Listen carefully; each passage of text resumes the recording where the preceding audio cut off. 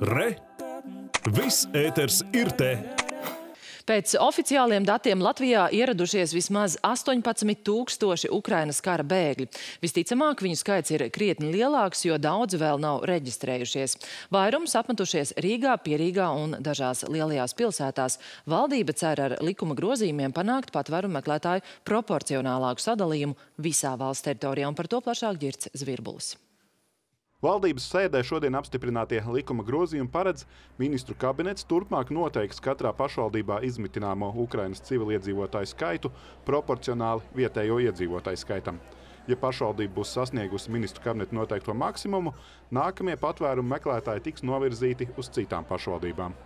Tas mērķis jau ir ļoti skaidrs, ka nodrošināt, ka uh, bēgļu izmitināšana notiek ārpus ne tikai eh, Rīga un vēl dažām lielām pilsētām, bet ka viņš notiek arī eh, citur valstī, eh, vairāk vienmērīgi vai proporcionāli teiksim, mūsu pašu iedzīvotāju skaitam. Jābūt vispārējiem principam un jābūt arī solidaritātei starp pašvaldībām, jo tomēr ņemot vērā, ņemot vērā to ļoti lielu noslodzi, kas izveidojas Rīgā un dažās citās lielākas pilsētas, būtu tikai taisnīgi, ja citas pašvaldības arī piedalās. Pašvaldību pārstāvi iebilst, ka valdības izvēlētā pieeja ir pārāk vienkāršota un mehāniska.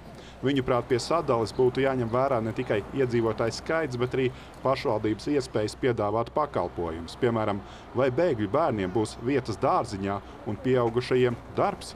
Tas ir mehānisks sadalījums, bet nu, katrā ziņā te jābūt kaut kādiem apzinātiem apstākļiem, ko pašvaldības var.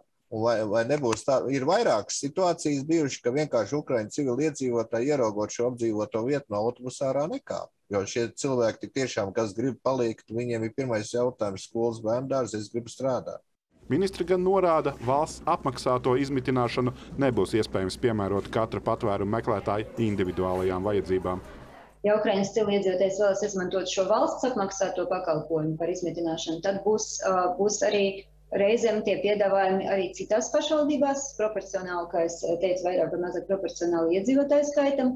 Un, um, attiecīgi, ja Ukraiņas civiliedzīvotājs, protams, vēlas uh, pats atrast sev izmitināšanas vietu un, un uh, tur uzturēties un pats, uh, pats teikt, to, to apmaksāt, tad, protams, mēs nekādā gadījumā neliksim šķēršļus. Plānots, ka šos ministru kabinets sagatavotos likuma grozījumus ceturtdien apstiprinās saimā. Ģirds Zvirbulis, Latvijas televīzija.